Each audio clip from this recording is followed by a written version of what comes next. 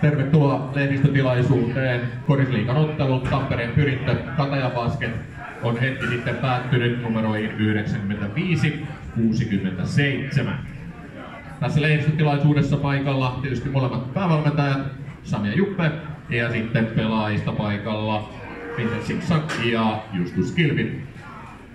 Mr. Simpson, your thought about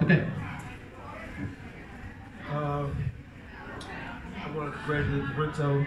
Uh, he got out to a very good start.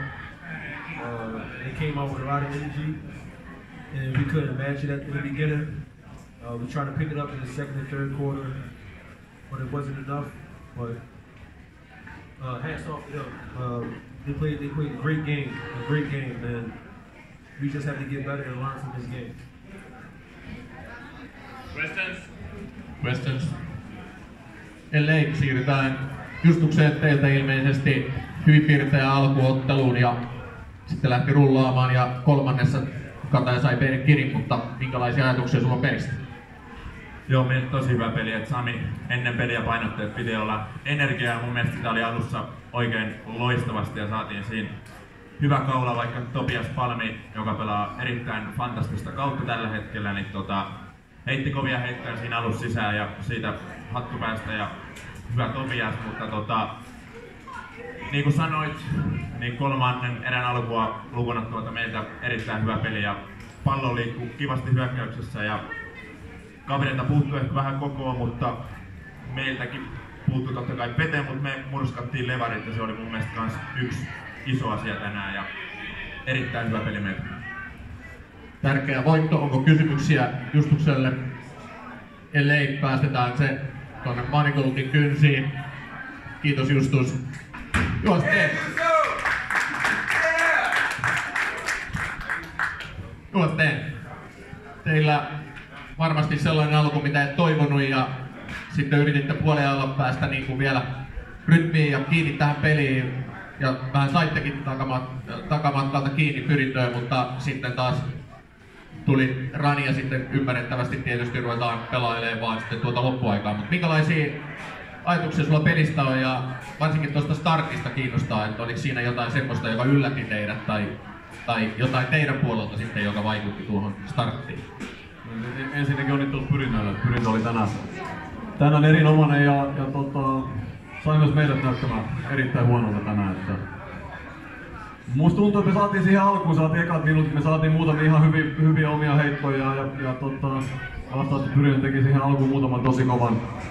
Se teki, teki kovin kore siihen alkuun ja sitten me, me, me, lamannuttiin ihan, ihan täysin sen jälkeen ja me ei kyllä pärjätty, ei, ei pärjätty missään päin kenttää, kenttää siinä tota, ekalla jaksolla. Että ei pärjätty levypalloissa, ei, ei päästy vapa, vapaaksi ja hyökkäyspäässä ja tuntui, että kaikki tilanteet meni, me, meni kyllä pyrinnälle siinä. Ja, ja, tota, ja se oli meidän huonoutta ja heidän hyvyyttä.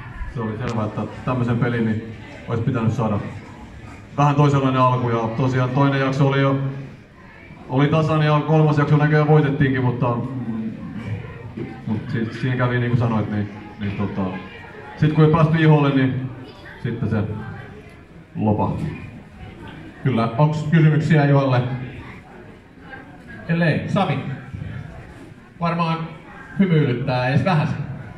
No totta kai hymyilyttää voiton jälkeen ja ennen kaikki, kaikkia se meidän eka kymppi, niin paljon hyvää, varmaan yksi kauden parhaimpia 10 minuuttisia kauden parhaimpia pelin alkuja. Eh, ero oli vähän isompi kuin ihan oikeasti se piti olla. Katealla kuitenkin muutama vapaa paikka, minkä he laittoi ohi, mutta tota, siinä oli paljon niitä juttuja, mitä me ollaan harjoiteltu, mistä me on puhuttu, mihin me on niin pyritty taas kaikkien näiden loukkaantumisten jälkeen ja, ja, ja siellä niitä löytyi.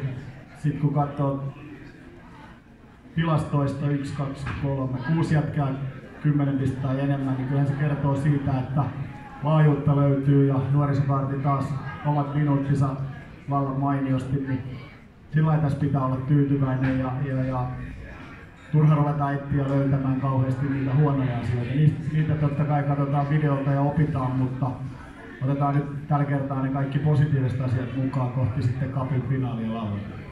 Hyvä. Pitikin kysyä tuosta kappifinaalista eli lauantaista. Minkälaisilla mielillä ajattelet, että joukkue odottaa tuota lauantai-päivää? No tota, varmaan vähän vielä sellainen niin kuin odottavainen ja avoin se tilanne, että näitä nyt on niin vähän pelattu kapin finaaleja, että itse tosin olen 2000-2001 kaudella ollut voittamassa Suomen kappia. Vastustajana oli Pyrpasket. Et, et mä lähetän Iisalon Joonakselle terveisiä. Et mä oon aika paljon kokeneempi kapin finalisti kuin hän. Ja, ja et, et, katsotaan, pystyykö hän vastaamaan siihen. Katsotaan, ketä Jenkeistä pelaa, kun se käsittääkseni pelataan kolme jenkin säännöllä. Ja, ja, ja Iisalo on jo huilauttanut rannikkoa tänään Lapualla, että ne on varmasti valmiita. Niin, niin, niin mielenkiintoista nähdä ja toivon mukaan paljon ihmisiä, että, että saadaan niinku kuitenkin keskelle kautta merkityksellinen peli, missä sä voit voittaa jotain, niin saataisiin myös yleisö mukaan ja kyllä pelaajat varmasti syttyy siihen. Hyvä. Onko Samille kysymyksiä? Ellei Kyrinnön puolesta toivotan niin teille pikaisempia paranemisia loukkaantuneille pelaajille ja tsemppiä tämän kevääseen. Ja samoin Samille. Hyvä. Kiitoksia kaikille. Tämä päättyy tähän.